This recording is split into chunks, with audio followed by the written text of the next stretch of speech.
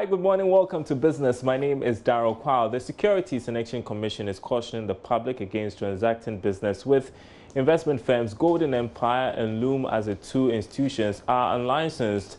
According to the regulator of the capital market, the public needs to be wary of such institutions to avoid being prey to scams. Here's the Director General of the Securities and Exchange Commission, Reverend Daniel Ogbarmey Tetteh, explaining how the Commission intends to deal with the issue.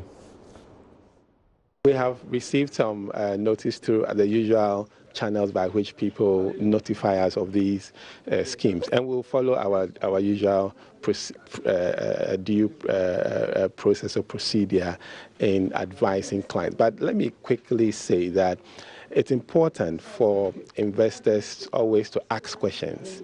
And one of the fundamental questions you should ask before you place your money with any uh, any firm is to find out what is the underlying investment. You know, because if anybody promises you a return, and in any case, we've indicated that when someone promises you a high return and tries to tell you that the return is guaranteed, it means that there is high risk involved, and you are better advised to look for the exit door. But the, the, a, a, basic question anybody needs to ask is, what are you investing in? What are the underlying investments? Okay, because that will help you to appreciate what is being offered to you. People should move away from the habit of uh, a friend or a relative saying that, oh, this thing is good or it is very good, because that is, you know, one of the ways to get into something that at the end of the day you end up uh, burning your fingers. So I'm just giving some general, uh, you know, piece of advice. Former Finance Minister Seth Terkper has accused the current government of peddling untruths when it comes to calculating debt figures. Mr. Terkper, in an interview with Joy Business on the country's economy, said the method being used to now calculate the debt levels must be looked at again. Let's be careful that we are not changing and this is an important fiscal rule. Fiscal rule is not just about de uh, deficits. fiscal rules span how you calculate debt. And let me give you another example.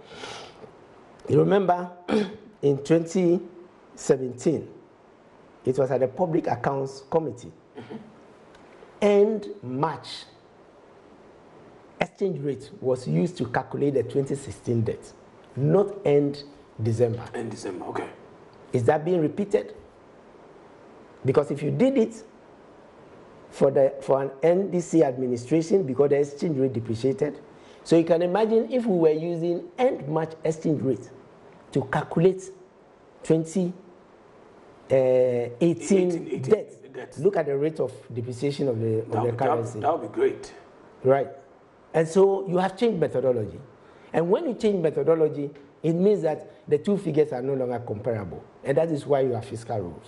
And I would hope that the regulations that went to Parliament is resolving many of these, you know, arbitrary changes in the fiscal rules.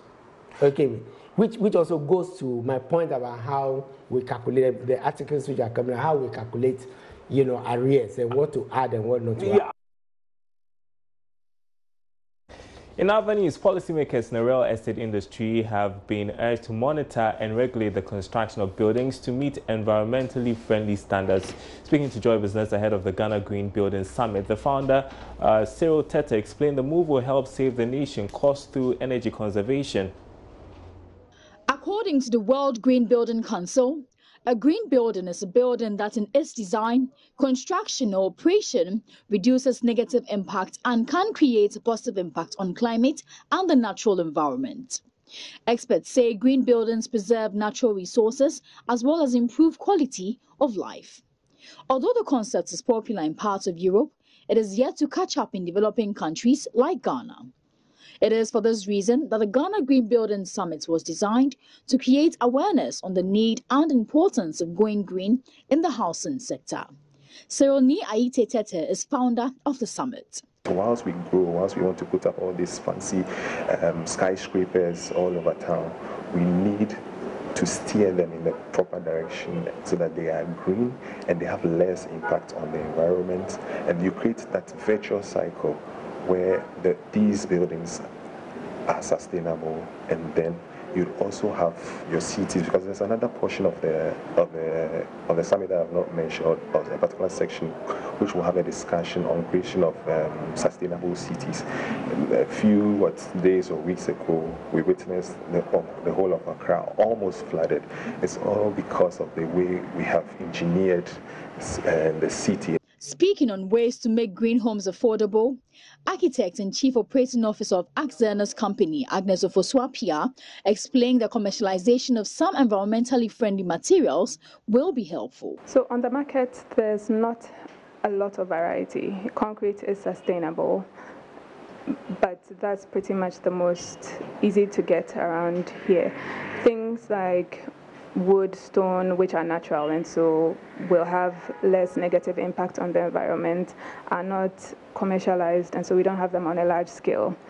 And so once we are able to get some of these things commercialized, then it becomes easier for everyone to use it.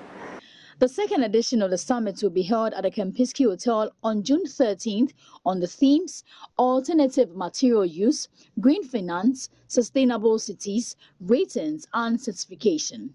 Karen Dodo's report for Joy Business. All right, that's it for business. Back to you, Venice. Thank you very much, Daryl. Coming up shortly in sports, we preview the upcoming games in the Women's World Cup and the semi-finals of the Under-20 World Cup later today.